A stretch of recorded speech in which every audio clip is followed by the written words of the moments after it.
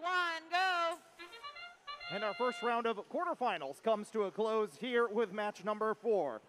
The third seeded alliance in red and the sixth seeded alliance in blue.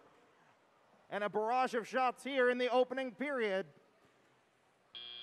will be close coming out of autonomous 38 to 20 blue advantage here with eight cargo sunk into that upper hub in our opening period of play and they continue to pour it on here. Code orange and the funky monkeys. Getting it done as their alliance partners argos from peoria. Now joining in as well. They head into enemy territory maybe trying to slow down the red alliance. They switch gears and head back to score a shot in for the blue alliance. They keep the lead as the Funky Monkeys from San Jose doing work for the Blue Alliance. For Reddit, StuyPulse and their alliance partners 4415. The Roboteers now heading into enemy territory looking for cargo, trying to get around the Blue Alliance team. They're up and in 1756 for the Blue Alliance. They keep the slight lead here, 73 to 66, with 80 seconds left in play. Back to collect for the Blue Alliances 3476 code orange.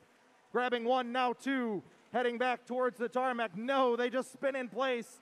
The long shot from code orange is good. Their alliance partners from deep in red territory, one for two for Argos.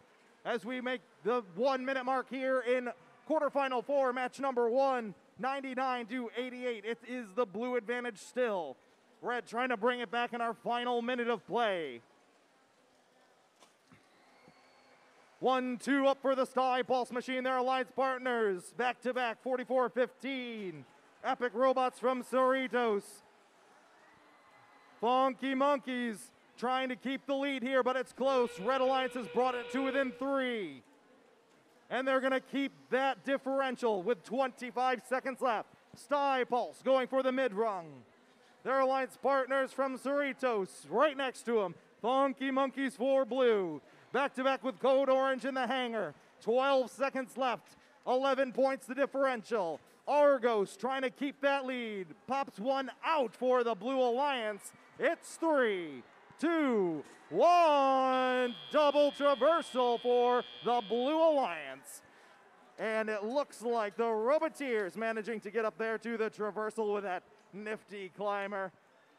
Two traverse separating the alliances. 163 to 162. Alliance number six will take the advantage here in quarterfinal four, match number one.